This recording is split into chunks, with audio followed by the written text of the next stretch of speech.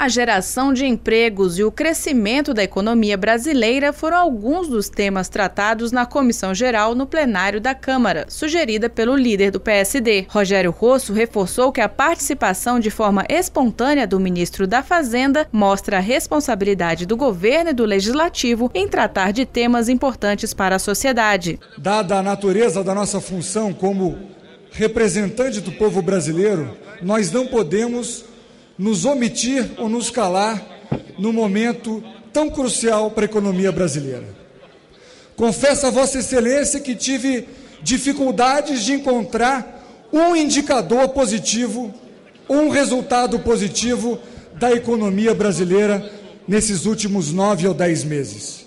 Nesse sentido, ministro Levi, e dentro desse, desse debate que precisamos fazer no Congresso Nacional, onde a presidente Dilma manda para casa a criação da CPMF, a DRU, a repatriação de recursos do exterior, fora as outras medidas absolutamente difíceis de ser enfrentada do ponto de vista social, fica sempre a pergunta, senhor ministro. O que o ministro Levi tem para nos dizer do emprego?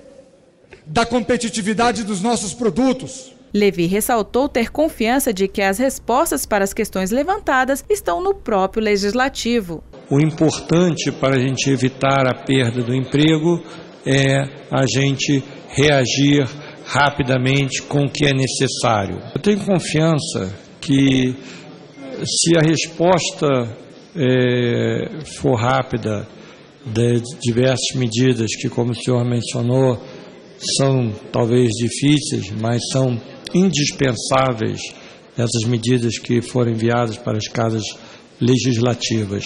Se elas puderem progredir, ter sucesso, eu acredito que a resposta em termos de criação de emprego se dará rápido. Para o deputado, uma nova condução da política econômica deve contribuir para o crescimento do país e para o aumento da geração de empregos. Em resposta às críticas feitas ao ministro, Rogério Rosso lançou o movimento Muda Levi. Diferentemente daquele coro de ontem da CUT, o meu coro é Muda Levi.